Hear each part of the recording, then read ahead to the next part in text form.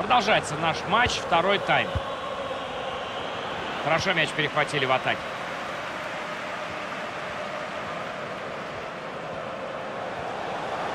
Мяч переходит в атаку. Главное не терять. Гол! Вот не побоялся пробить и попал. Молодчина!